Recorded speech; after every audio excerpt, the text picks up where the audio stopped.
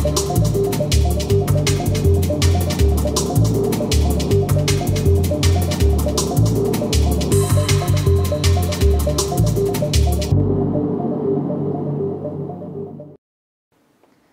два дена ќе започне изборниот молка во недела на 15 октомври ќе се гласа, ќе се избираат идните градоначалници на општините во Република Македонија и ќе се избираат следните со градски совети. Денеска во регионалното одва телевизија ви ги представуваме изборните програми на кандидатите за градоначалници на Вевчани. Едниот од кандидатите нуди живот во Вевчани за сите, а другиот нуди нова ера за вевчанци. Ви ги представувам кандидатите за градоначалници, уште еднаш ќе кажам, на СДСМ и на ВМРО да ДПМН. Кандидат за градоначалник на СДСМ е Сашо Јанковски, уште еднаш ќе напоменеме изборната програма му е жива повеќани за сите и актуелниот градоначалник се уште и кандидат за градоначалник кој што ќе се бори за втор мандат да освои, тоа е господинот Светомир Гриновски, кој што нуди нова ера за Вевчанци. Добре ни дојдевте во одва телевизија. Добре ме најдовме.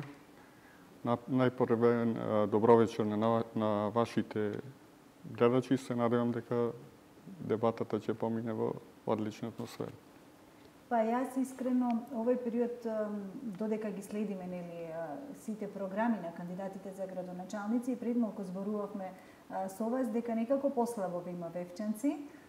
Вие си ги знаете програмите, но мислам дека треба и по-јавно да се соопштат нели истите. Еве ве можност преку регионалната одба телевизија не само вевчанци, туку и многу пошироко да слушнат што ќе се прави, кои се вашите изборни програми и ветувања за следниве 4 години доколку го добиете мандатот за градоначалник.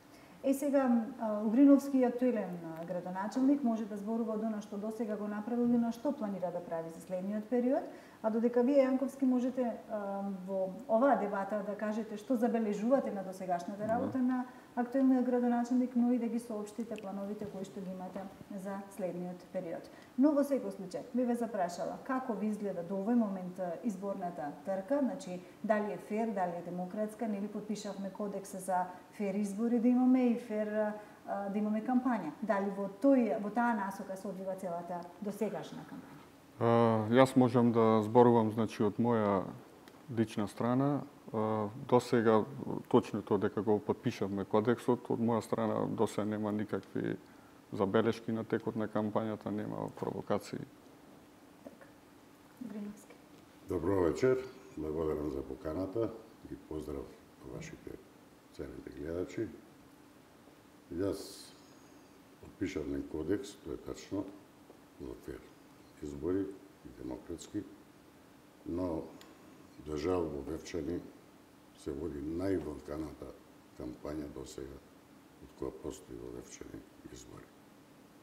Значи, од првиот ден уште, со почнување на кампањата, во Вевчани упадна финансова полиција, во општина Вевчани, во мојата семејна фирма, тачно од 5 до 12, по повик на некоја свиткача од општината, со лажни податоци, со лаги и дојдоа пет полицајци. Не најавени, како па да не знам кој криминал го вара во општината. Ми поднесоа кривични пријави на седом луѓе, тоа е веќе заплашување и под тие кривични пријави беа спремни за два дена. Пошто дојдоа на 25-ти, тоа беше понеделник, одма на 29-ти дојдоа да дам ја изјава, ја не бе тука, не најавени дојдоа, а во вторникот, не знам кој датум беше, пред недела дена, даде и задниот, што беше обвинет во Скопје, ја даде изјава. Значи, средата, четвртокот, за два дена, припремија кривични пријави против 7 луѓе, 7 души, и ја објавија на медиумите. Тоа го слушавме тачно во 12 часот преку македонската телевизија. Дека сме обвинени. И лажно кажувано дека сме злоупотребиле милиони 300 илјади денари. Тие се не злоупотребени, изградени пари се. Изграден е подпорен зид при спортската сала. Значи нема злоупотреба. И нека викнат вешти лица, професори, и кој ако покаже дека е злоупотреба кошта толку, да ја тврдам дека зидовите коштале 2 милиони. Крадежник за милиони 300. Е што е распишан тендер, е што е. Значи, самото тоа попинување на оптужби, кривични пријави поднесени, не е во ред, тоа е едно заплашување од власта. Сакат да ги исплашат луѓето, посебно мојот тим што работи во локалната самоуправа и да народ нешто му прикажат лажно. Ја излегов кон нас со сообщение, ги запознав нормално во партијата, од председателот Надолуп излегува со прес, ги запознав сите луѓе, на мојата страна објавив дека нема криминал, а тоа е од самата општина, од една особа, која 2013 која е тутела, која исто треба да влезе со овие седом и да излезе на суд. Да каже зошто не ги опоменава, дека со тендер сме каснеле. Наводно сме и завршили работите после тендер, што не е тачно. Нема подврска, ги обтужува колегите свој во општина. И таа треба да се вклучи во кога ќе одиме на дали се Винтесово ќе прифати или не тужба понатака, ќе видиме тоа. Таа процедура ќе се тера. Важно ми сме чисти, зидовите се изработени, спортската сала се изработена. И ќе се користи повише од две години, три години А, Друго, СДС, како никогаш до сега, во окупалтана кампања не вода. Клучени се луѓе кои во Вевчење не живеат постојано, и се приступни во Левчење, кои се служат со лазни, лажни лаги, невистини, а, се случува со тој независниот кандидат да излегува на Facebook на едно друго да прети, дали го пишува ти или дека тој не верува да може тоа да го напиши. Јас случајот го пријави во полиција, пријавени случајот. Како што седи, ko to седи, дека човек напишал дека ја ќе висам на баја. Постојат предни разни и кај луѓето. Веќе имат страф кај луѓето. Она што го збореат, пред година дена и дека постои страв во народот на сега постои веќе од нас и вие стравот. Бидат бркани на работа или не знам што, Обеќани се лажни работни места, не знам каде веќе на 40 жени чистачки. Добро, тоа детално ќе образложиме кој што ветува. Така дали дали по валкана кампања ние сме мало место. 2500 жители прилика.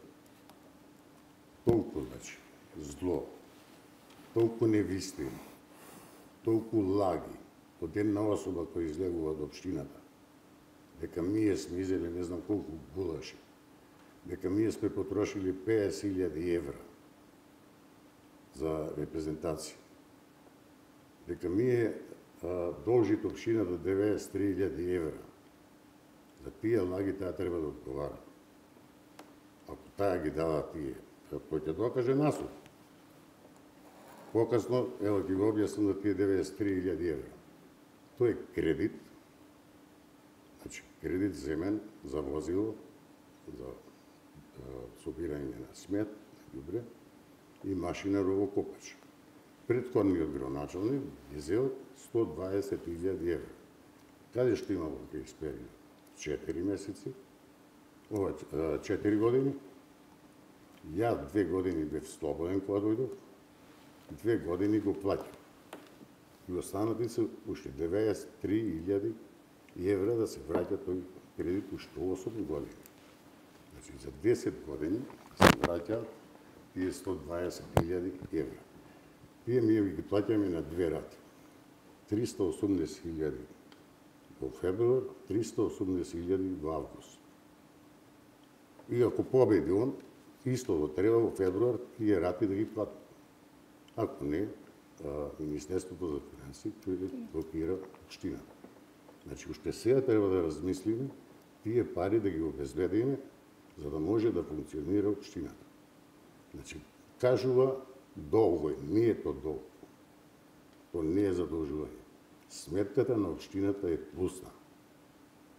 Значи е плусна, не должиме никому, сите фактури се исплатени, све е исплатено, очистено, значи деновиве, утре имаме ситнишни кој, ќе дојде струјата на 15 и тај ќе исплатам, без дека без. И сега јас ви нудам можност значи да се доискажувате во целост. Нема да ви го мериме времето, да речем по минутка, минута и пол обично како што правиме на повеќе кандидати. Овој пат сте двајца, ви нудиме во можност да се искажувате во. Да Ако ќе имате можности Уште ова да го кажам, само кога да, сме кај финансиве. Таа истата особа која ги кажува и податоци, требаше да им каже и другите податоци. Кога дојдов, општината е затекна. Значи, јас стартував на 5 април 2013 година. Првиот ден помина со формално примопредавање со претходни градоначалник. На шести дојдов, видов дека сметката е блокирана. Со милиони 400 од ДУЕП, не претходниот, него другиот градоначалник кој направил криминални дела и со компанија Лоте од Охрид, подпишале ситуации, парите Министерството за екологија не ми ги дава, затоа што ги извршиле работи. Тоа беше пријавено, полицијата тука затаи, се направи дека не гледа, а тој случај беше пријавен. Јас не може да депонирам подпис. Ја депонирав подпис со мој средства. Тоа секој го знае. Со мој средства дојдов во Охрид, депонира Си ги платив тие пари што која што од Најдов ауто кое беше во возен со автобе и е дека не не се да не се возам. Си го возев мојата приватна, мислам, аутото од мојата фирма. Година и дори набави ново ауто и се погоди да се исти. Хонда, джип И мојато и го. Така да Обштината е сега едина обштина сме во Македонија, а тој излегува и сега некои показатели, која е раздолжена со три бужети задолжена, која е раздолжена и која плусо работи. Значи, околу тие работи, околу тие пареви валкани водење на кампањи, со, нормално, со човек од обштината, значи, тоа е да дојди финансиска полиција, да не прегледа ништо, тоа што не прегледа дневници спезена. Дневница не е исплатена во мој период на ниједен. Преноќиште, ако сме 150 дена во годината надвор вевчени, едно само за се на финансовата. Јас повторно ќе кажам, значи ви давам можност да се доискажете во целост, но воедно и на секој од тие прашања може да имате а, реплики. Значи во овој случај морам да ве да. прашам да имате реплика. Имам, значи, што се однесува за Валканата кампања. Прво, нема да коментирам за некои трети лица што ги спомнува господинот Угриновски. Јако ќе зборувам, зборувам за со име и презиме за, за некого. Добро, во одсутство на други не јас не би сакала. Не би сакала да се спомнуваат за луѓе што не може тука да се бранат лично. Што се однесува за а, кривичната пријава, а, јас викам вака, значи не навлегувам дали господинот Угриновски е виновен или не видовен. Ова држава имат институции, нити сум ја јавен обвинител, нити судија, нити полиција а, доколку е виновен, ќе одговара. Доколку не е виновен, нема да одговара. Доколку и јас направам криминал во својот мандат, ќе одговара. Една за навек треба да почнат да функционират институциите.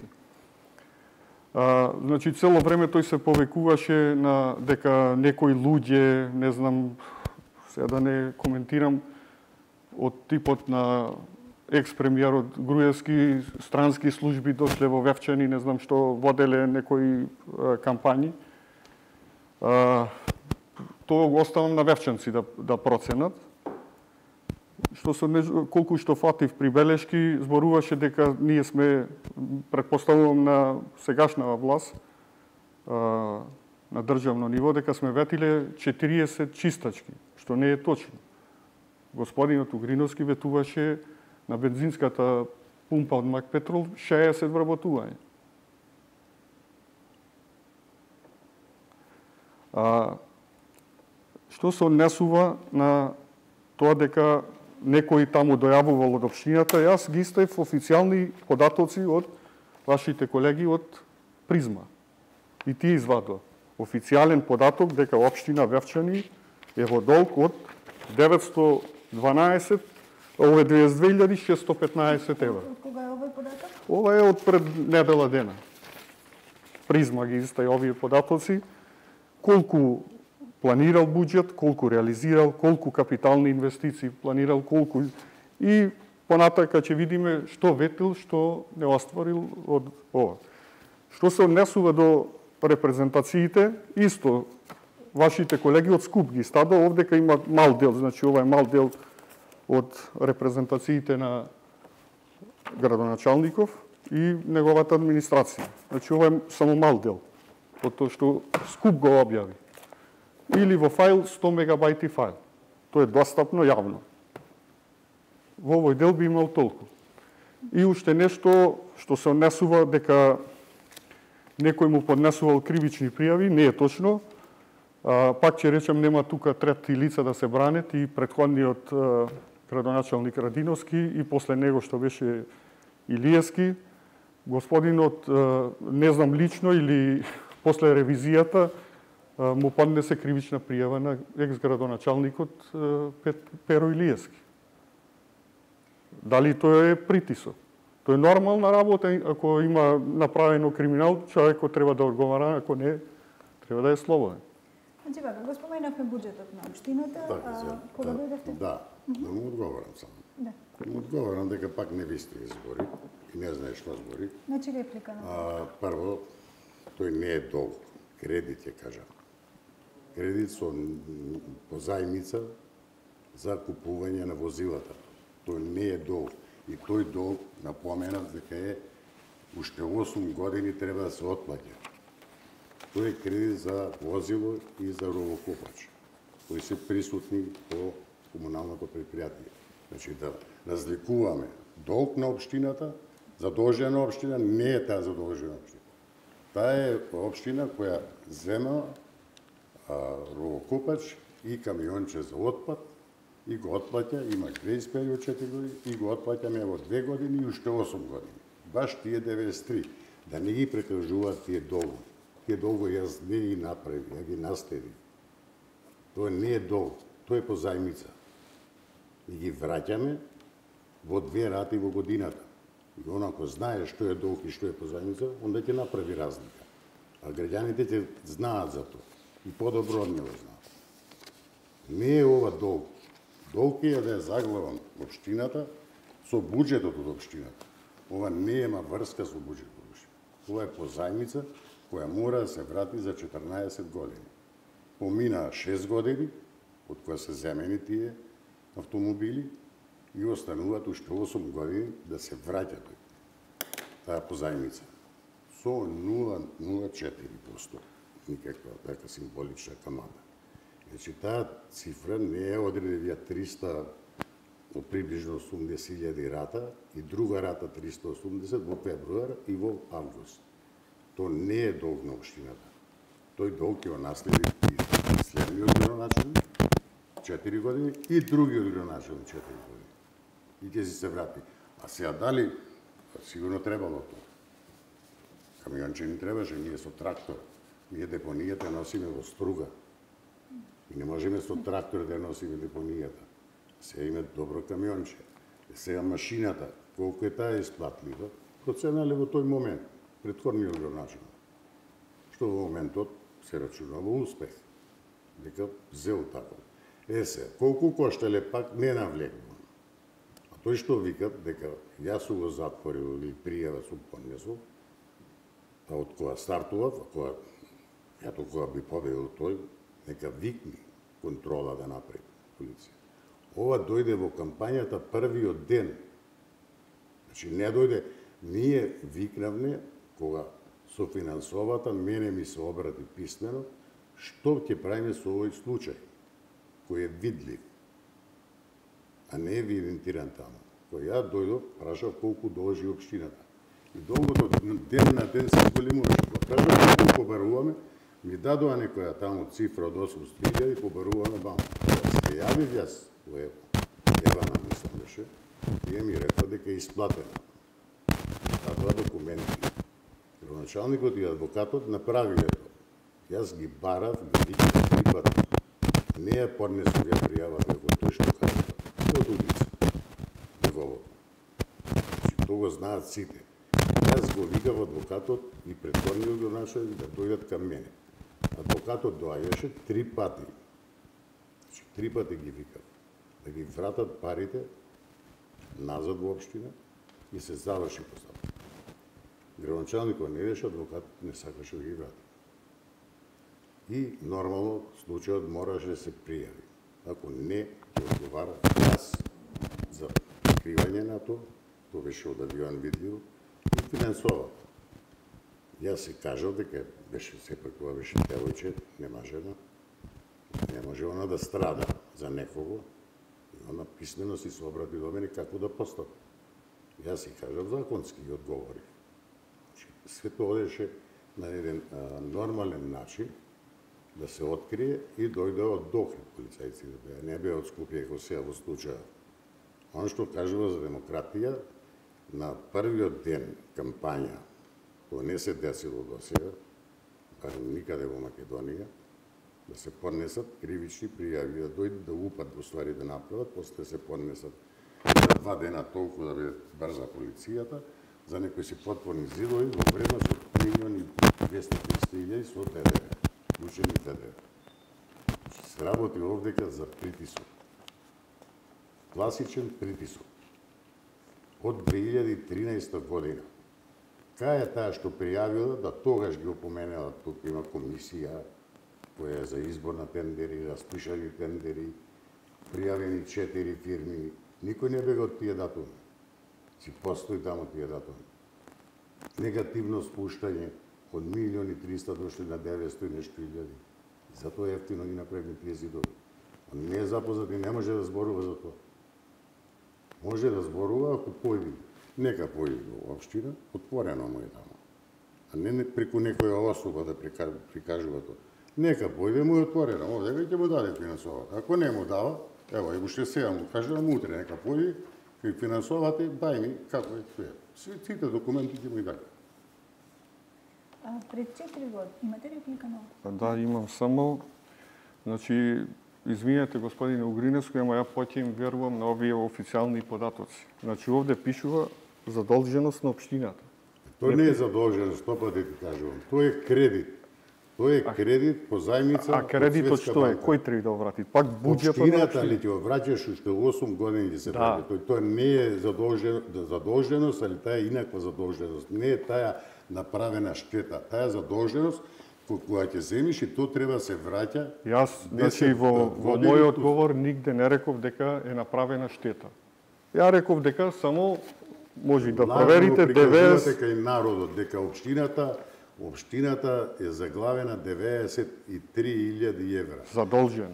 Заглавена кажувате Не е по, по вистина. Фейсбук и по интернет. Задолжена таа не е рито задолжена. Средства да се Друго работат. сакам да му- Поради тие си прават а, значи промет. Го собираат ѓубрето, машината расчистува канали и тука се тие средства. функција се. Во функција се. Значи, тоа сакам да кажам. Не е то задолженост и немојте лажно да прикажувате. Тоа е позајмица кредит даден од Светска банка преку Министерството за финансии.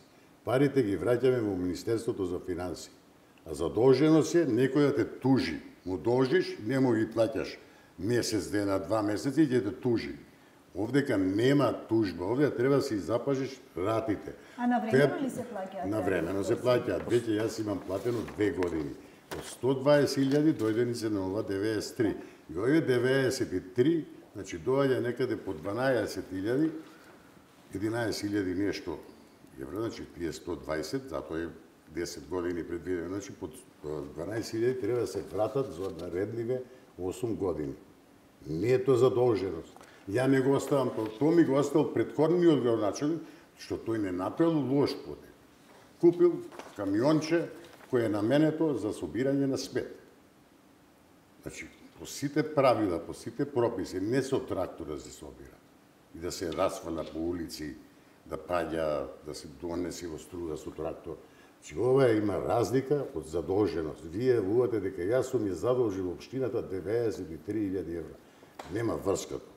Со тоа немате врска, значи не знаете што зборувате. Тоа е најлошото, народот знае, народот е паметен. Вие можете да се служите со секакви прљави работи. Значи, ова не е задолженост дека јас сум ја задолжил, ево су потрошил за нешто. Ова е, прво не е мој долг од предходниот градоначалник и ќе ги плаќаат три мандати. 12 Или, години. Значи, да три мандати кој да е градоначалник, ќе ги плаќа и не може он да рече овој ми остај, јас сега да речам предходниот, ја тој не го спомнувам тој долг. Во тие 30 билиони. Овој долг не го спомнувам. Овој е корисен долг. Овој е долг кој нешто се купило. Ние можеме кредит да земеме за објект некој. Значи, можеме да земеме кредит, али да направиме објект. Ево, тој купил аута. Ние сега донесовме, утре задуте ќе регистрираме, али тој е гранд камионче, Peugeot, кој кошта 22.000 евра, исто за намена на комунално, модерно камионче, таа е процедурата, пристигна во петокот навече, вчера и завчера работеа, утре задуте ќе го регистрираме тоа камионче. Но тоа не му оставам долу, Тоа е град. Од југозападниот франски регион ни е части со тоа камионче. Затоа што сме доста активни, работиме и тоа е. Али овој, ова што е задолжение 93, ја наследено ги имам од претворниот, значи тој не плател. ако беше тој градоначалник, што ми беше против кандидат, тој ќе си платеше нормално. И сега ако дојде тој градоначалник, тој ќе си платја 4 рати, 4 години. Значи, ова да не го кажувате народот дека општината е задолжена. Во моментот, според вас, има или нема долг општината? Нема Значи, општината, нема општината долг. Ја не го зедов задниот извод. Нашата општината функционира. Овој долг е во ративе, само кои си дојат ратите да си прибериш пари, општината треба да си прибери 380.000 и да ги плати во февруар до 15 до кога ја не знам, и одна после да собери за август. Тие ти праќаат во почетокот на февруар да те подсетат Министерството за финансии дека треба. Значи, сметката нема врска со тоа, сметката моментално во општина Вепчани е плусна. Плусна и нема долг на никого. А, значи, господинот Угриновски викаше дека наследил долг, колку што ра- разбрав јас, од 163.000 На евра. почетокот на мандатот? Да, така. Не 163. 30 милиони денари, 500.000 евра. Не, во еден ваш, значи, во ваша Facebook објава, рековте дека наследивте долг од Ма чекај 163. сега, дали си нормално збориш. Да. Никаде тоа не су го насменило и секаде су го и напишано е дека три, преку 30 милиони долг наследи. Денари, збориме. Какви 163, од кај ги измисли тие 163? Јас не ги измислив, значи проверете каде, ово кажи ми. Facebook објавата ваша од пред два дена, проверете. Која е ова? Е сега Секаде да се напишано соочат е преку работите, 30 да, милиони. да. Од кај тие 163? Јас значи пак ќе ви повторам, ја повеќе верувам на официјални податоци Од каде ги имаш ти официјални новина. податоци? Еве, затоа и можноста Призма да се од колегите. Да. новинари. Што се однесува тоа на другите долгови, значи, ево и се официјалните долгови на ЈП Еремија и на јавно предпријатие за комуналните. Да. И уште еден податок има за основното училиште. Значи, основното училиште е во катастрофална состојба. Има долг од 40.000 евра. Немаме, сега, немаме тука, не плаќаме превоз за ученици, тие се чист долг за Исплата за непланско работење. И што таму директорот што поставил градоначалников, избркал луѓе на, вра, од, на работно место, судот му ги враќа и, и должен е народот се да ги враќа тие средства на на тие вработени. Прво, немат, немат врска, Еремија не е задолжен, Еремија функционира со тешка мака, Еремија нешто феномен. Еремија наплаќа 150 денари ѓубретари на месечно. Еднаш неделно проаѓа, значи доаѓа 35 денари. За 35 денари едно кафе кошта да ти собери ѓубре дома и да го несе во струга, то никаде го нема во светот, не во Македонија. 12 денари вода се плаќа кубикот. Еремија ја ми дозволи, ради стандардот на жителите, и ја помагаме од сите страни. И не е вистина дека има долг. Од кај знаем дека има долг? Не, господин него, Министерство за финанси ги има Кој е Министерство за финанси? Кој е Министерство добивате? Каде е Еремија во Министерство за финанси? Па ви пратија податоци да доставите. Што должи Еремија? Кај должи? Плати, дели редовно? Сега не знам тука, знам. Не знаеш ништо, не, да не знаеш што ништо не знаеш. Не е така. Сега што се однесува за школата. Школата е во тешка состојба. така? Тоа е во тешка состојба, да. Баграта таму која е собрана, за жал, то се негоите околу него. Тука ми е вадиме и ученици неквалитетни. Сега има стредба со млади кои се запишаат прва година имаат работи кои воопшто не ги учеле. Значи, не ги учеле. Тие се во штабот мило. И ние морат вечери да трпат и децата и сите, да завршат и да појат пензија, дали 3-4 години име, за жал и продолжуваат, не на 64, на 66. Зошто? Тамо се пијат, тамо се пред све. Ја како кроначалник сум немоќен. Тие се тука значи 40 години, тие упропастија и старата училишна зграда за 5 грамити. Ја ги затегнам деца 8 години учеа во дома. Ја вето ставив дека нема повеќе тука да учат. Во природа ќе учат и ден и ноќе се работеше на новата училишна зграда и се заврши и на 2 септември беше недела така, почнавме во новата училишна зграда. Тие што се околу него, советници, тие се тие учители тие се тие учители, еден од ними, со него што го вози, тој ја тужи школата. Беше директор на школата. Значи, претходните градоначалници, кога го сменале директорот, а, му дале решение, наместо да се врати на старото работно место, кај што дошол, му напиша да се врати во училиштето Стражот Таа реченица тој ја користи и на суп со години, значи. Јас кога тој во началник, уште на година тераже судот, ги доби. Ги доби со таа реченица, ги доби и остана во школото Страшот Кинчев. Без никаква работа и оди таму и си седи. И тука е долгот, не можам ја сега да го ни правдам, ни окривам овој директор, дека именав и други директори, бега после неколку месеци, значи школата дојде во шашма со тој потек, што се напре, и тачно е дека е задолжен. Тачно е дека во школата нема ред, дека имаме тука веќе наследено и чекаме пензија додат, друго го злоупотребуваат законот, нема некој Изидоров Азедер да продолжи, никој не продолжи, или машино бравар, од 64 на 66 години, продолжуваат тие, затоа што е безредие, и тешко можеш ними, јас неколку пати отивам на saстанок со сите 30 на колку се вработени таму наставници, за жал, како со никога да не разговараш. И тоа размислувам, кога ќе појдат пензија, ќе се спасиме левчанци. Затоа што има преденна недела, девојче прва година кој плачеше и бараше помош од баба му да седнат да учат. Сите знаат од сиве други во струга во средното Јас ова не го имам учено. Значи, дојдовме од една од најубавите школи во Македонија, основни, дојдовме до тоа деренџе со овие наставници. Законот ги штити.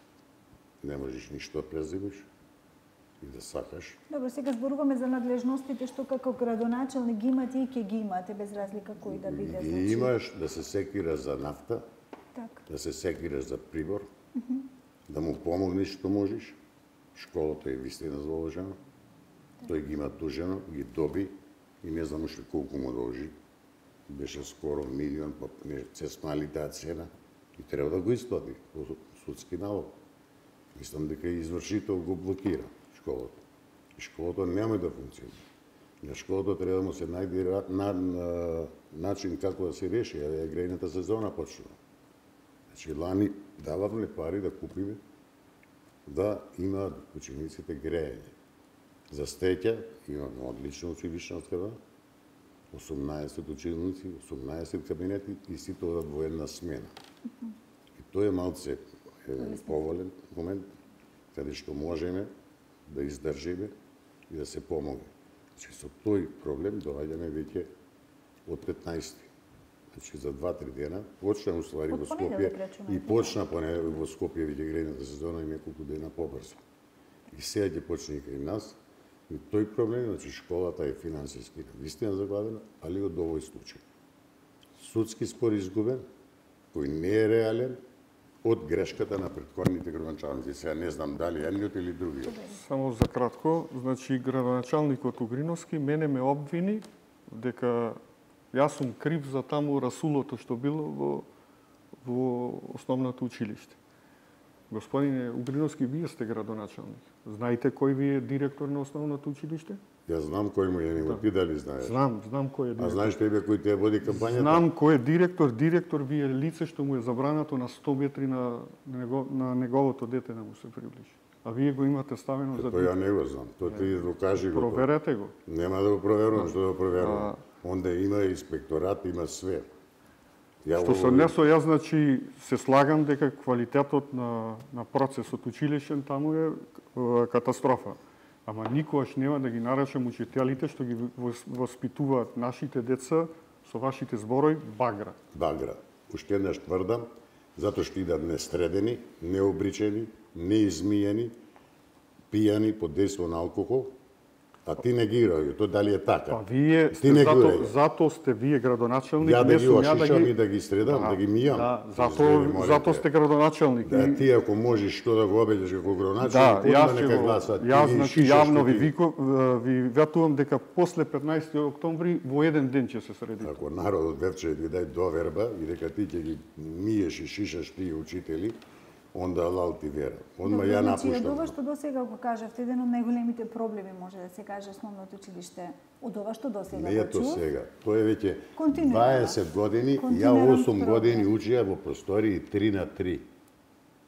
И тој претворниот сега што се два во еден, Радиновски, здружени, баш го бригаше. Кога дојдов ја во април, ушија уште, уште мај, јуни реко повише овде нема да влезе.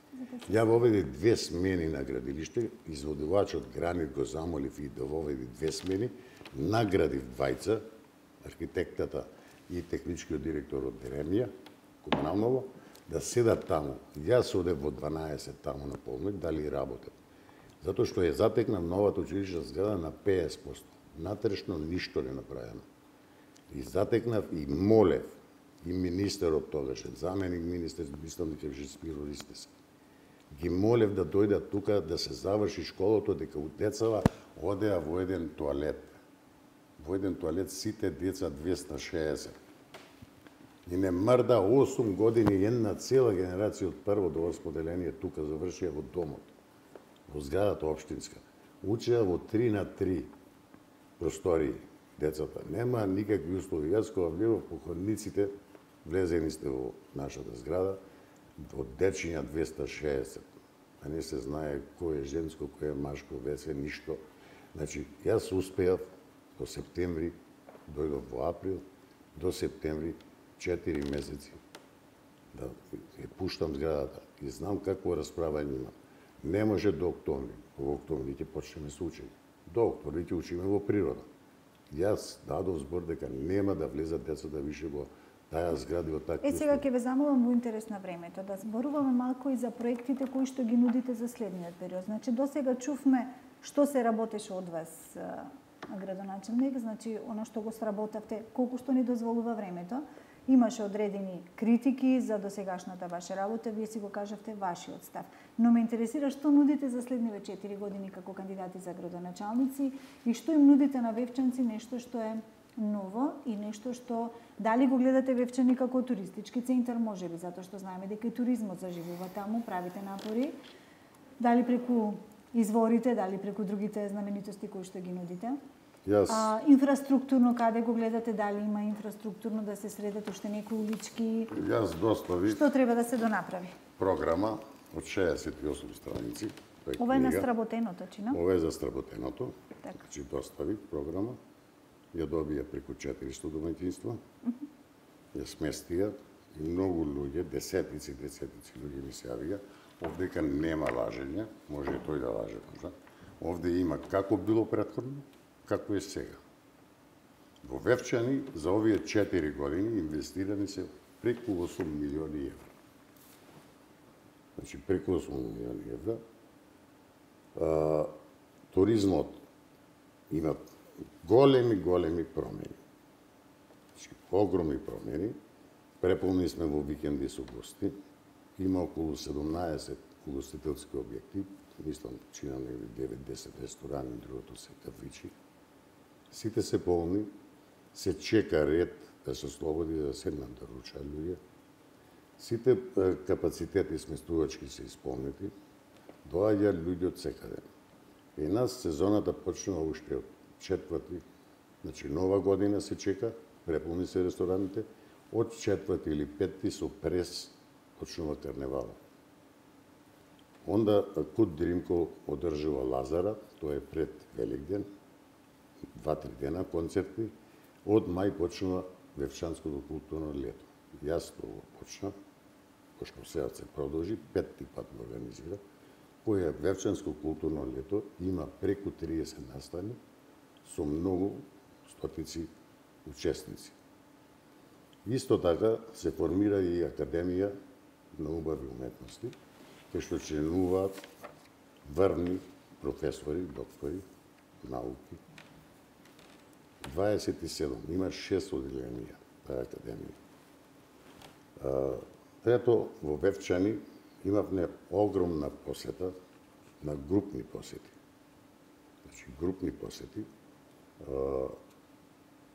Можам да се пофалам и BBC пред две години беше во Вевчани. Направи филм од 5 минути, документарец, и не знам, сигурно ги имате гледано, каде Карневалот го прогласи за најдобар во светот од тој вид паганство и најголем карневал. А, Мон Мартер беше со 130 родбитола деца од цел свет, од Индонезија, од Кина, од Европа, од секаде. 130 деца беа плюс нивните водичи. А, Тоа све одеше на терен на општината. Значи, све одеше на терен на општината. А, дојде председателот Георги Иванов со целиот дипломатски кор во Певчево. Петте присутни, знаете, кои беа сите амбасадори што се присутни, што со евро, евроамбасадорот звукар. Дојде УНЕСКО вече со директорката, со 17 министри за култура од 17 држави, Италија, Франција, бившите Југословенски републики, Руманија, Бугарија и така натака. Пак беше општина значи, Берчани домаќи на УНЕСКО. Дојдоа децата на бранителите. Девчен беше домаќи. Дојда играорци, све преку 100 луѓе зборам. По два автобуси од Торонто, дојдоа од Австралија. И тие ги причекавме во Вевчен. да држаа приредби. Во Вевчани веќе по трети или четврти пат од струшкиве вечери се одржува поезија на изворите во Вевчени каде присуствуваат околу 30 написатели од цел свет. И тоа не го одбива. И тука е спонзор Обштина Левче. Куд Дримкол настапи, те што тие се служат и со тие работи. Пример во Скопје во новиот театар. Имавме настап. Вевчани за прв пат го решивме проблемот со Михајло Пупин. Дека предците на Михајло Пупин се од Левчан. Прадедо и дедо. Се збратимивме со општина Ковачица, тој е роден во Идвор. Се промовираат две книги, една од Шајн, Желко Шајн во Скопје, што беше и председател Ѓорѓe Иванов присутен, и една во Вевчани во храмот Свети И званично, веќе то, ние бевме во посета во кај што не пречекаа срдачно, и сега тој проблем е решен како проблем веќе. Не е више спорно дека Михајло Пупин има потекло од Вевчани, кој многу значеше за нас да се докажеме во тоа. Имавме уште многу промоции на, не знам, 3, 40, 50 книги разни писатели. Значи, во културата што се внесува во туризмот. Поставивме четири табли под аеродромот преку Агенцијата за патишта, јавни патишта, од аеродромот Скопје, па на изедот од Скопје кај Матка, кај рампата, на наплатна, на стража и кај аеродромот Охрид. Први од општините добивме таблички ВВ, иако не исполнувавме ни 10%. За жал, кандидатот кој мислите стани градоначалник, уште вози Охрица. Дали се табличките мои мисли, не знам што ќе стави да го стане градоначалник, дали ќе и променит, тоа треба тој да говори. Три години имаме. Ред чека вевчанците. И имат како него уште три четворица и никогаш дека не стават во. Од некој ги гледа на мене во надвор утото со В со Охридски. И треба тој да им даде на певчанци одговор кај се рекламите, значи. Рекламите а, на Метрополис радио вртат нонстоп, имате да слушам. Дојдете во Вевчина да го видите Охрид и такви слични. Карневалот ние го продолжиме 4-5 дена. Благодарение на новинарот по потекло Вевчани, публицист, писател Мишо Китановски, кој најмногу ми помогна. Од 4 или 5 јануар одржуваме пресот во Скопје, во Пелисте, со сите медиуми. Во 4 години донесовме врвни го. Значи од Ван Гог, Фрлево казалиште, Фрајле ова година, па нашите врни покојна Јесна Чепова, Јевто Попиновски, Елена Велески, така и супер кикс, доктаристика и така натака, не ги набројувам. Сите тие се поминати за карнавалот, каде доаѓаат неколку децетници и илјади. Тоа се на 12 и 13. На 13 се обележува, се дочекува православната нова година, со огномет и со македонска музика. Така. Го вратив сјајот на тоа, затоа што веќе ги имаше изгубено имаше изгубено со нешто. Сега, како ќе биде понатака, зависи од Министерството за култура, кој е главен, главен покровител на, на, карнавал. на карнавалот. Јанковски повелете. Значи, што се однесува за туризмот во Вевчани, се слагам, има 17 угостителски објекти. Меѓутоа, не знам колку тие се задоволни од од посетеноста. Има дел што што се има склучено договори со агенциите, меѓутоа дел кубурат со гости. А, тука планираме да да ги здружиме во еден кластер сиве овие туристички објекти и да не трошат а, мислам засебно секој посебно средства за презентација на саеми, таа обврска да ја преземе локалната самоуправа да ги презентира да ги презентира на саеми, да нуди, нуди понуди и такви работи. Во другиот дел планираме, значи, промоција и брендирање на локални кулинарски специјалитети, каде што ќе се заштитат како брендови, да речеме како пицата во Наполи, што е. А, промоција на домашни вевчански производи, сирење, млеко, месо, месо вино и, и такви работи. Планираме да ги богатиме туристичката понуда и преку изградба на монбайк патеки, патеки за постоја патеки за планинарење, има одлични услови вевчени за екстремен спорт, значи алпинизам и такви такви работи. Се да се набратам на господинот, не знам, спомна дека 8 милиони евра имал во последниве 4 години, не знам од кај извади таа бројка. 8 милиони инвестиции. Како вложувањето? Да, во Вевчани дека имал. Ја колку што се сеќавам, во неговиот мандат, сем спортската сала што се изгради преку чинам агенцијата за млади и спорт и и не знам, мислам дека околу 700.000 евра беше калкулирано таму. А, Кејо што се заврши сега, значи тој беше околу 230.000 евра, заедно со пристапниот пат до школото и и мултифункционалното игралиште кое не е изградено, други сем приватни објекти јас не познавам. И а, тука спаѓат бензинската на Мак Петро, тој е приватен објект, и одлично што се изгради, тука немам сомнеш. И другите што се некои приватни инвестиции во Вевчани, друго по капитален објект немам. Имате ли вие во програмата некој капитален проект? Да, имам значи капитални проекти во мојата програма се и, и во програмата на владата на Република, Република Македонија се влезени истиве. Се реконструкција и, адаптација на старата зграда на основното училиште во мултикултурен објект. изградба на отворено спортско игралиште во кругот на новото училиште и изградба на мини индустријска зона во местото викано Сувополе долу.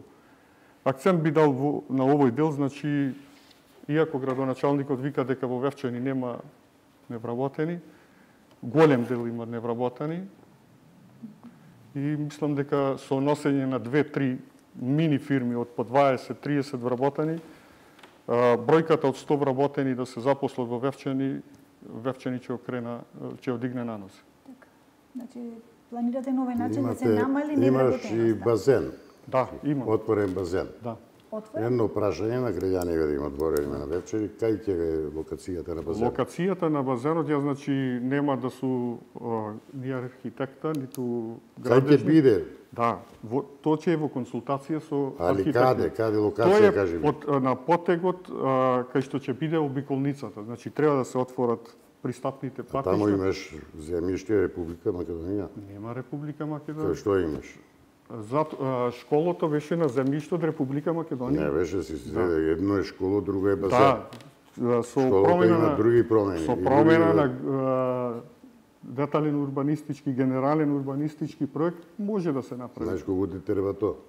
Колку време да промениш детален урбанистичко? Е, сега не знам Временски колку... да те треба. Ако не, не знаеш, прашај. Не знам колку време ви треба, Мандат ама... еден ќе ти промени, нема да го направиш тоа. Бидете Друго, сигурни дека знаеш ти исплатливо, знаеш колку кошта тој базен. Да. Колку кошта? А, тој е во план со, со инвеститор да се гради. Со јавно приватно Со јавно приватно партнерство да. ти дојде некој да ти гради базен да, во Вевчан. Да, има и така. Дали ја знаеш ти исплатливоста како треба базенот да функционира? Сега ако не не ја знае тој што треба да вложи, не, ти да... само тоа, тоа само тоа збориш на памет. Да. немаш врска што значи тој базен. Јас многу добро знам. Базенот кошта одржавање на базен. Треба да. пет души да вработи. Треба инфраструктура, инфраструктура. Знаеш која температура треба да има базенот? Нормал- Нормално дека знам. Кога? Во летен период. Во летен, Во во ле... во... Тој е отворен базен. Во отворен, колку треба да биде? минимална температура на водата е 20 степени. И во Олимписки базен во Скопје. немај, молим те. Колку треба да не 28 степени минимум Нема треба да врска. ти е. Некако нема врска. 28 степени не може да плива луѓе. Кој немој да плива, бе, немој, мол, па ти не си бил на Добро, базен, значи ја одам еден на од базен. проектите Ни еден базен, кажи ми во држава што функционира. Базените во Струга и Спопана, во Охрид, секаде. Јас не викам во- А ти во Вепче ќе Да, одржиш да, базен. планирам. Со кој буџет ќе одржиш базен?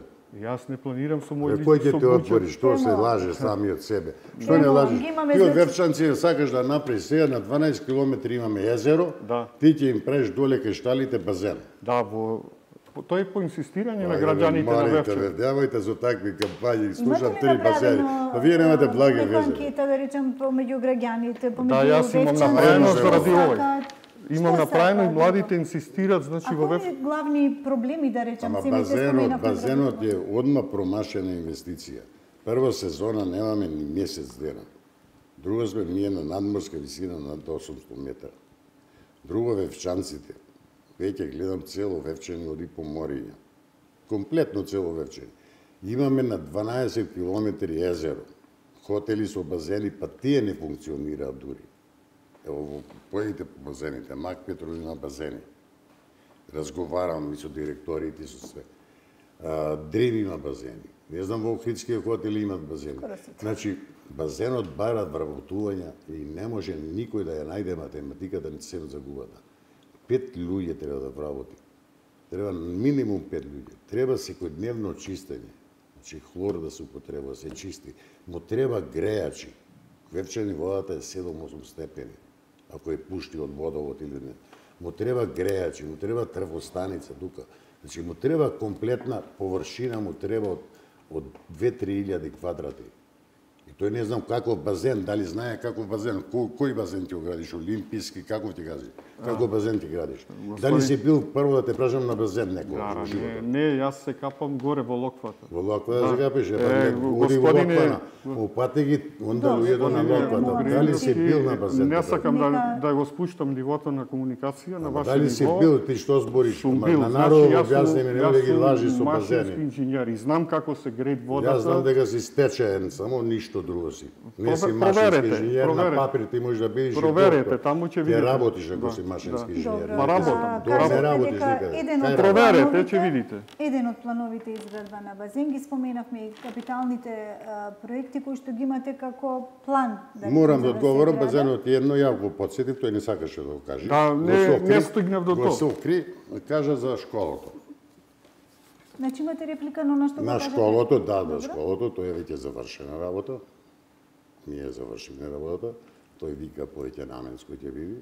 За игралиштето? За школото. Зборуваме старата Отворено училишна, игралиште, старата училишна зграда Аха, добро. за туризмот. Така.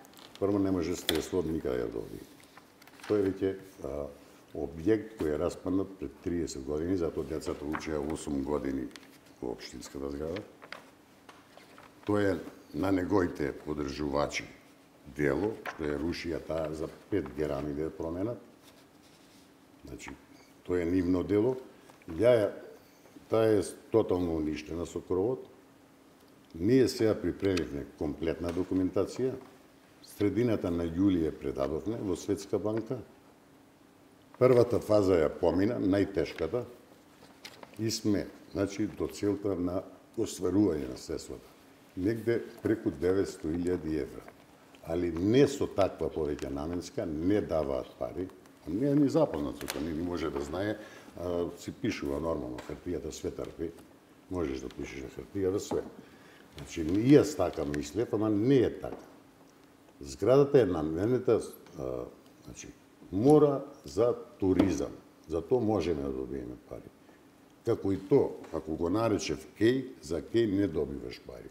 Шеталиште, да.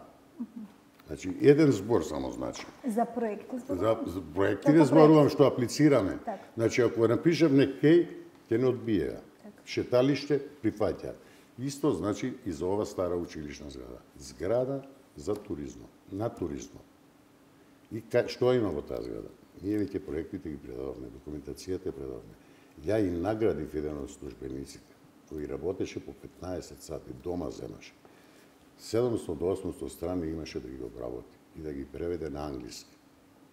Значи, рокот ни беше многу краток, месеци нешто.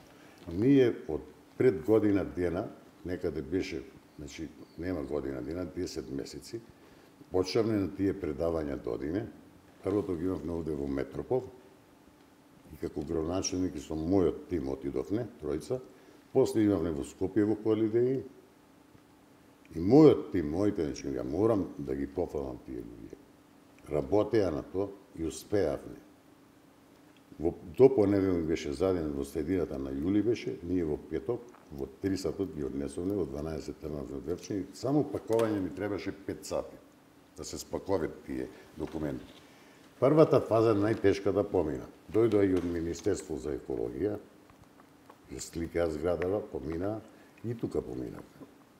Сега, што ги спречија сите проекти во влада, валјда ќе се отворат после избориве, ние сме на тој регион, Прилеп, Битола, Ресен, Охрид, едини со точна документација за стеќа наша.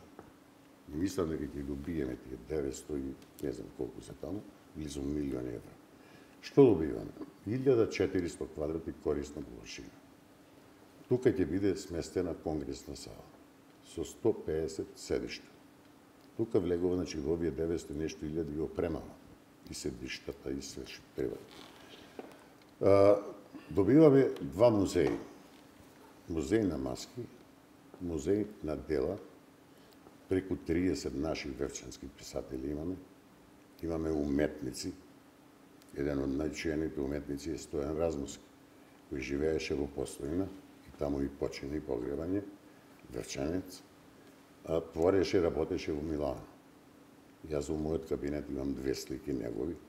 Едната помалечката е многу висока вредност. На интернет ја најдете, големата не знам, има огромна Значи, имаме слики негови, има и некои други, ќе ги прибериме. Вториот музеј ќе види на Вевчанската носија, која е многу интересна, која е скапа. И ќе имаме нормално и други работи изложени, ќе прибираме све што во Вевчани се употребувало за во животот. Имаме и стари а, клавиро, дали го зедоа, стар стотина години, Знам дека мојот дедо покойни сад седеше во школото на степениците.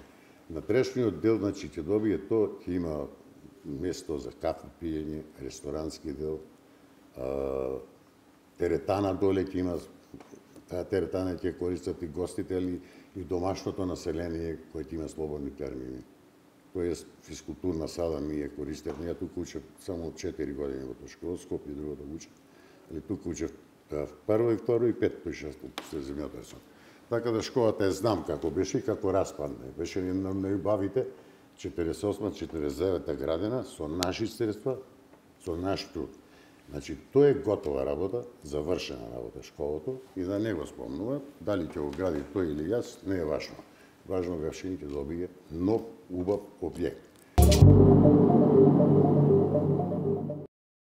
Втора работа е площадот на Вевчани, значи, со завршување на оваа зграда, площадот на Ревчани, за кој веќе имам идејно решение.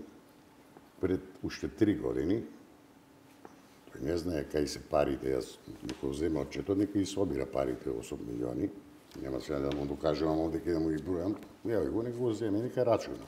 Бил машински инженер, треба математика да знае доволно. Нека види 80 страни, постојат објекти. Значи, дојдоа двајца архитекти, професори, доктори, Јован Стефановски Жан и Оливер, Оливер Петрески. Цел ден работевме, и јас со нив и архитектата наш. Изедоа да сите точки. Центарот на Вевчани ќе биде во три ниво. Првото ниво е доле, во почетокот, значи кој ќе влегуваш, сега таа пекара тука е, тоа е црковно место. Тука има амфитеатар кој ќе остане, имаме искупатини кои ќе се дотераат и ќе останат, И тука имало гробишта кои се оцелени некаде после 45-та година. Значи, Грчен уште тога веќе размислувало на цивилизација, иако тие луѓе, дејковци имале проблем, Филип и Кузма, успеале да го оцелят тука ќе се направи црква, се тачно не знам како се тоа, манастир, веќе имам и спонзор, веќе то пријавен. Мој пријател, дека ќе ќе направи таа црква, манастирче малечко, како што го имаме Свети Спас долни го викаме. И тука ќе има парк, другиот дел ќе биде и влез за паркинг, кај што е се спортското игралиште. А, вториот дел е центарот се на Вепчани, кај што се тука треба да дојде она што е обеќано, Вепчанската невеста, ќе дојде јас од озгора, имам ние јас и доле се спојува јас. Значи, меѓу площадот се два јаза со вода, и тој е израчунато колку вода треба да се појаша во едниот, колку во другиот, за да ја прибере таа вода. И кај степениците кои се качуваме, затоа воопшто не чепкаме таму, ќе се направи ресторан воденица и ќе биде општински тој ресторан. И општината ќе го издава под најам. Нормално на област. Значи, площадот е втори дел. Третиот дел е за кој веќе купивме земјиште, али со таа преводна вада што се направи, не може да распишат тендес за повеќе наменското игралиште. Иначе сме први на чекање. Јас мислев дека лесно ќе завршиме купците, али не знаев дека се четири браќа и дури се собра за на нотар, ние го купивме, лани го купивме, али не можеше, иако леговни и влезени се со тоа повеќе наменско игралиште, мора да се изработи посебно проект. Да Врчени специфична градбава. Ние немаме ливада па ќе го постават игралиштето. Тука треба да се направат подпорни зидови, да се добие површината, иначе земјишето го плативме и на општина Вевче, чито го купивме. Овие велосипедски патеки што ги спомна, јас со словенците разговарав, тие се заинтересирани за тој туризам најмногу се заинтересирани и веќе ги има присуство. Сијанивното присуство во Евчари. Јас со претходниот амбасадор од Словенија, господинот Бранко, имав неколку стредби во Евчари да дојде 3-4 пати. И дојде, викна и стручен а, тим од а, крај да дојдат да работат. И тука веќе имаме стработено, нашиот архитектата ги изработи, тоа не се големи инвестиции, ќе бидат лесно изводливи, нема скапи материјали, работна снага е во прашање и постојат доста. И сега веќе имаат тие доста стази да се движат, каде, видоспедистиве, треба да им се прошири уште можноста, да имат повише стази. Тоа е а, ефтин спорт, а корисен за вевчани, ностоп да има гости. А, онда а, треба да да продолжиме, што кажа мини зоната, се изгради бензинската пумпа, нема интерес. Он вика дека има не, вече немаме ни еден машинобравар. Еве овде кај сателска фабрика да не се работи. Еден имаме човек таму, и то стручен е, вработен, другото нема. Немаме ми е бравар да ми швајцова една ограда во Вевче. Ние може во Вевче да имаме кадар царина, правен, економски, да, али ние немаме она снага која ни треба да инвеститор дојде и која ќе праша што имате овде, дали имате машинобравери, немаме. Дали имате дреари, немаме. Дали имате ова, немаме. Нека потврди он дали, пошто е машински инженер, имаме. И нека ми каже кои имаме, пензионери имаме и тие ни одржаве. Тие ни одржаве. Те, тој имате Вујко, пензионер, него. Ја имам електрика, да ми, електрича, пензионер да ми одржава улично осветување. Значи, ние немаме каде ли треба да размислиме што ќе отвараме. Дека ни спопанна некој тварите. Да Друго што нуди партнерство. Партнерство за млади. Веќе 20 или 30, сега ми ги наброја, кој зеле 2-3 евра. Може да се распрашаш. Кој сака да побара, Обштината со сила не може да натера некој земи пари и отвори бизнис Сега кога ми ги наброја, па 30 на може да ми наброја. Не знам ли знаеш дали имаат дека 30 на луѓе млади, двајца, тројца, имаат земено тие пари што уште премиерот Никола Груевски ги спроведе, за тие вработувања, семјни бизниси и така натака. Значи, не да нешто кажуваме и пишуваме дека тој ќе го направиме. Кај ми е можност? Тој вика дека Вевчани, Вевчани фабриката Мотекс, овде живее во Охрид газата, германецот. Ја користи мој објект. Нон-стоп ме моли да вработ да му најдам уште 5-10. Утре најди ги жените 5, нека одат на работа. Сите бараат чистачки.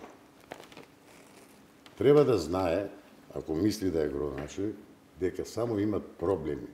Од негова ингеренција е градинката, вработена толку и готово. Школото, 30 наставници, две чистачки. Толку е буџетот. Ние толку даваат и готово. Треба да чекаме пензија и све што ќе обеќаш дека некого ќе го вработиш, значи одма го лажеш во старт. Треба да појде некој пензија за да се вработи. Од овие две останови. Комуналното е толку, ви кажав цените дека е ефтино, не може да вработи, треба уште два можда работници да вработи, да чистат, да е уште почисто вече. Не е чисто, да е уште почисто. Не може да вработи. Треба промена на цените. Значи, немаме, кажува здравството. Јас, кога бев кај министерот Тодоров, пред 3-4 години, ми кажа јасно и гласно. Првото му беше, значи, првиот збор му беше немаше ингеренции во здравството. Јас му кажав, министре, јас тоа го знам, не дојде да ми кажеш да дали имам ингеренции. Нека го слушни и он то добро. Дека и овој истиот министр тој ќе му каже, немаш ли ингеренции да. Он има ингредиенци да, да појде директорот, ако сака да го прими, кафе да се напие, како да работи, што да ништо понапред. Јас тоа го направив исто. Јас му реков едно. Јас знам дека немам ингредиенци. Дојди објасни им на луѓето. И ево нека се чујат граѓаните. Не да мислат дека тој ќе осреди здравството или јас ќе осредам. Никој градоначалник по сиве општини. Значи Че ние немаме здравството, државата. За жал државата ни ги ставила проблемите, школото и градинката кај што треба нафта, кај што треба храна, кај што треба креди од материјали. Да, ние тоа го кажавме и неколку пати во текот на емисијава, зборуваме за ингеренциите кои што ги имате, значи не можеме Значи тоа се ингеренциите, тие се ингеренциите и не можам ја да обеќавам никому повише од тоа. Значи тоа е. Да, повелете. Значи господинот Угриновски пак рече дека јас ништо не сум знаел, што се однесуваше за ова мултикултурниот. За центарот. Да. Значи, тој, ова е програмата негова 2013-2017. Тоа другиот пишуваше, не јас. Се не знам јас кој ја пишувал. затекнав, затоа ти викам не знаеш и ја Значи, реконструкција и пренамена на стара училишна да. зграда, рок на изградба 2016 година. Тоа ти го кажа јас. Тој имал шанса да ја направи, не направи. Али не тогаш не, наменски. Тогаш не лажеше или сега не лажи дека ќе ја направи. Тоа сакам да му одговорам. Јас сакам да ти кажам дека тоа не проаѓа. Значи не проаѓа, сакам да ти кажам, повеќе наменска. Не можеш да добиеш средства. Тоа ти го кажувам, затоа што тоа го припремил некој, ја прифаќам таа програма. Како и ја сега што ја припремив овај, ако дојде другиот, Ако беше, например, други некој, не јас, јас ова е припреми пред три месеци. И сега другиот ја наследи. Ако партијата назначеше други, како мене што ме назначи, ја е припремил. И видов дека, затоа и не знаеш, и ја не знаеш. А и ти не знаеш, ја ти укажувам на добро, не на лошо, дека не проваѓа то, дојди програмата, види е дадена. И таа првата фаза ти кажав дека е помината и за мене е завршена школата. Значи е завршено. Тие пари ние ќе ги добиеме за таа зграда. Повеќе наменска. Ја мислам дека локалната самоуправа тука ќе сместиме, дека тука ќе сместиме оделението ќе направиме сала за венчавање, дека тука ќе сместиме ова, дека тука ќе... Али то не проаѓа. Ти кажав и пример. Кеј не проаѓа, шеталиште проаѓа. И, значи, значи никаде во моето излагање јас не реков дека администрацијата ќе оди во овој објект. Јас спомнав дека таму ќе имат млад, токму, значи, Младински културен центар, че имат сала, кој што викате вие отпаѓа за... одма, одма отпаѓа. Ти кажувам одма отпаѓа, Младински културен, отпаѓа одма. Пазевне, гледаше тимот мој, не јас, на компјутер. Какви се тие туристички, значи центри, како изгледат. Ги вадевне делде на проектантот. И тоа да ти кажам сега. Проектот за таа школа, 25.000 евра, јас го финансирам. И тоа да ти е јасно и за, и за новото школо, нешто финансира, затоа што предходниот, не предходниот, предходниот е почна. Значи, таа школа се градеше пред да дојдеме 6-7 години до 50% да дојде. А 50% ја ги изгради за 4 месеци. Двата проекти јас ги финансирам. Оди во општина, провери дали има фактура. И овој проект јас го финансирав затоа што ми се пријатели. И ми го направија токму за пријателство да ги земам парите. Да ги земиме парите, да го направиме таа една зграда да ја спасиме за веки Зачавме многу теми, да речем, кои што се значени за Вевчани. Спомнавме дел од проектите кои што планирате во да ги правите. Јас морам на крајот од емисијава, за жал, навистина сме ограничени со време, да ве прашам нешто што би сакале да истакнете, што ви е многу значено, еве пред молкот и пред изборите кои што ќе бидат на 15. Тоа значи како Како завршно обраќање може да биде така до гледачите? А, значи, на крај јас сакам на крајов на кампањава, да речем, да им се заблагодарам на поддршката на вевчанци. Значи, јавно им ветувам а, дека до максимум ќе со, сиот, со сета своја енергија, визија, ќе доприносам за развојот на, на Вевчани. А, нема, значи, да ги лажам дека како претходниот градоначалник ќе се откажам од градоначалничката плата. Меѓутоа, до последниот денар е ја таа плата. Јавно ветувам дека општинското возило после 16 часот ќе биде паркирано пред општинската зграда и нема да го користам во за своји лични потреби. Ги повикувам јавно да излеза значи на на 15 октомври да одадат гласот за коалицијата Живот во Вевчани за бројот 19. Толку би.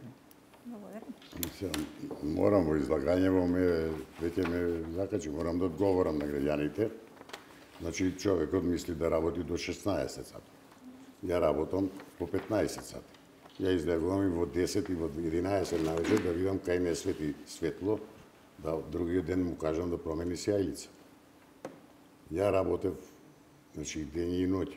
Онако мисли во 16, и ако очекува дека аутото кое јас го донесов по заслуга, за 20.000 евра, од 32.000 евра, дека јас треба да му го оставам пред Обштинскиот дом, тоа се неговите а, програми. Значи, програмата е многу голем успех, возилото ќе го паркират пред Обштинската зграда, да тоа биде наметнато на тие неговите свиркачи, багабонти, бандити, што свире и да го испарка, да го истакнат, како што е тоа старото ауто што го вози службеникот, напишано на него СДС, испаркано, тој им е желбата, да аутото ја им го оста, и тоа ги боли.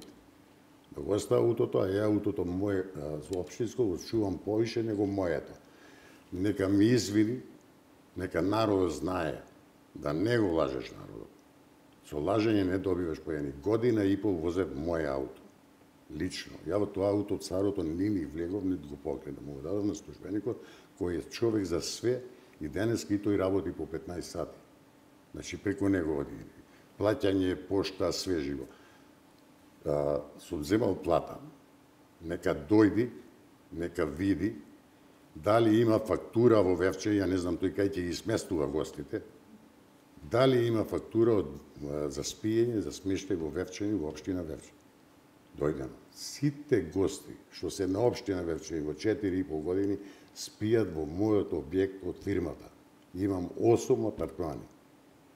Французите, физибилити студијата и мастер планот кој работеа за скијачките терени. Не знам колку ноќи четворица.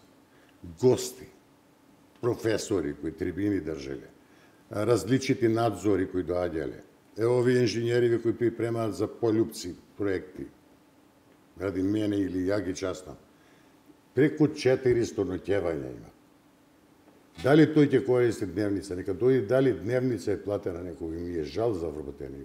Што немет една дневница не е платена во општината тоа сум јас.